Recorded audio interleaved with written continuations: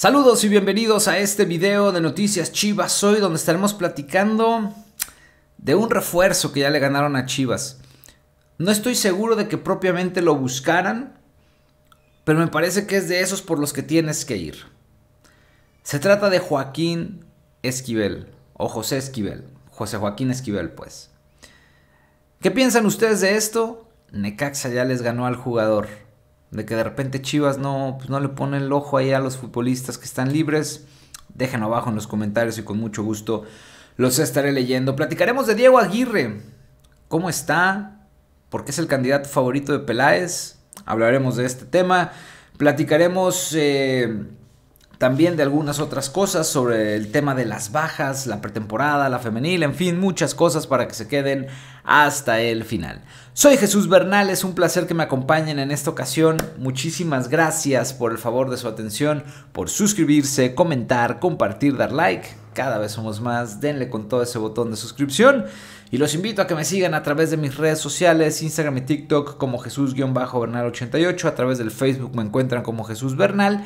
Y los invito también a que vayan a mi otro proyecto, Fútbol México. Aquí les dejo el link para que se suscriban en un canal donde platico de absolutamente todo lo que tiene que ver con la Liga MX. Así es que sin más preámbulo, comenzamos con este video, con las últimas noticias de las Chivas.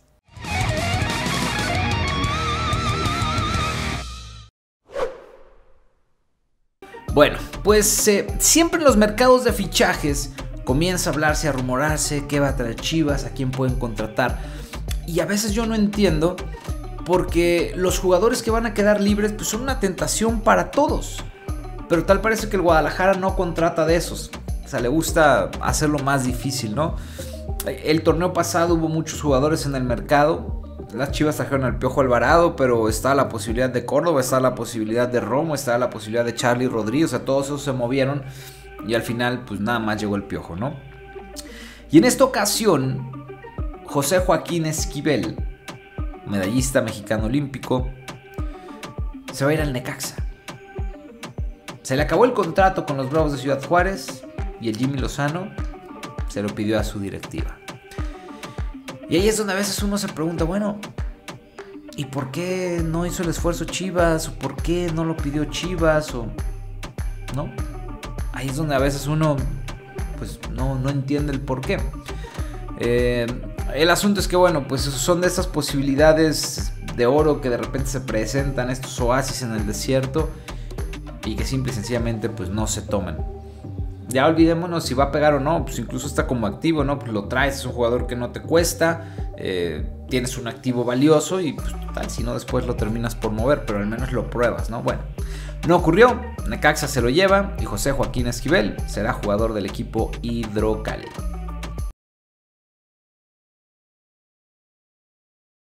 Mientras tanto, el técnico Diego Aguirre es el candidato favorito del director deportivo de las Chivas, Ricardo Peláez. El uruguayo fue entrevistado por Peláez, le presentó su proyecto, Peláez le habló de todo lo que era Chivas, eh, le gusta Peláez el perfil que tiene, no podemos negar, campeón dos veces con Peñarol en Uruguay, no consecutivas, una en 2003, la otra en 2010, campeón en el fútbol catarí, ganó la Copa del Jeque y la Copa Qatar y ganó como cinco copas en Qatar con el Al Rayyan. Y también campeón del torneo gaucho regional con el Inter de Porto Alegre, no del Brasileirao, pero sí del regional. Eh, en Sudamérica podrá tener su nombre, pero la verdad es que para México es un perfecto desconocido. Sus pros, eso, su palmarés, su experiencia. Sus contras, periodos muy cortos de tiempo al frente de los equipos. Es alguien que cobra bien y veremos al final cuál es la decisión. Pero es el gallo de Peláez el señor Diego Aguirre.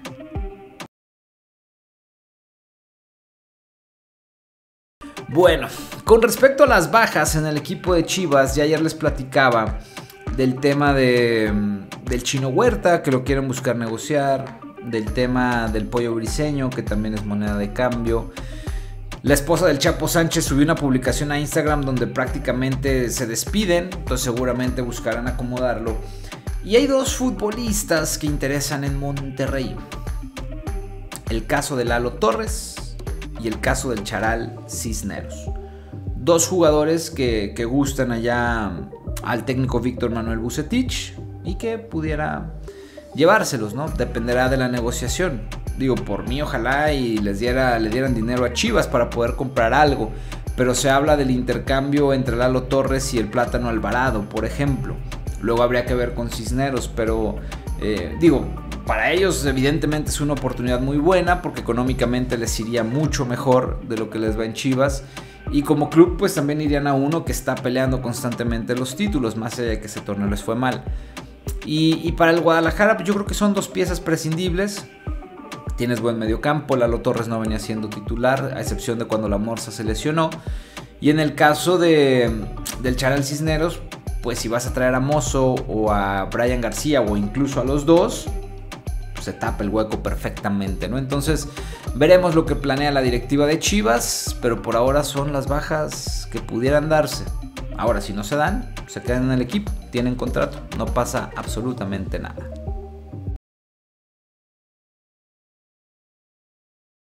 Bueno, con respecto a la pretemporada de las Chivas, eh, se los he comentado ya. Tendrán, les quedan que son 13, 14 días de vacaciones más o menos, apenas empezaron. El próximo primero y 2 de junio estarán realizando pruebas físicas y médicas. Después eh, un día de readaptación y el 4 se van a, Isla Navidad donde tendrán el, trabajo pesado, ¿no? Las cargas duras, las cargas pesadas de trabajo en esta pretemporada. Después mini gira por los Estados Unidos, Salt Lake City para enfrentar al Atlas, Chicago para jugar contra Santos Laguna. Ahí van a disputar eh, partidos ante Grupo Orlegui. Y posterior a ello regresan a la ciudad de Guadalajara y el 25 de junio estarán teniendo su último partido de preparación una semana antes del arranque del torneo contra el equipo del Necaxa en la cancha del estadio Akron.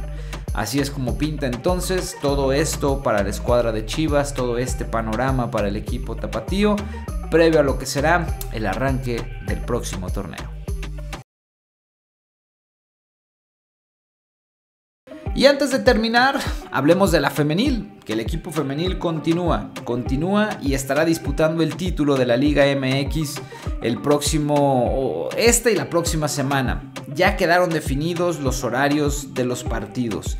La final de ida será Pachuca contra Chivas en el Estadio Hidalgo. El próximo día, viernes a las 9 de la noche va el compromiso. La transmisión será a través de Fox Sports.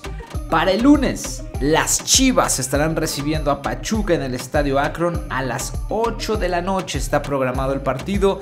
La transmisión de este compromiso también va a través de la señal de Fox Sports. Así es que estén al pendiente de lo que ocurrirá porque Chivas como institución en el equipo femenil podría conseguir un título en este semestre. Ojalá. Pachuca es complicado, pero creo que Chivas tiene con qué de la mano del Pato Alfaro. Hasta aquí dejamos este video, muchísimas gracias por el favor de su atención, síganse suscribiendo, comentando, compartiendo, dando like y nos vemos en la próxima. Soy Jesús Bernal, adiós.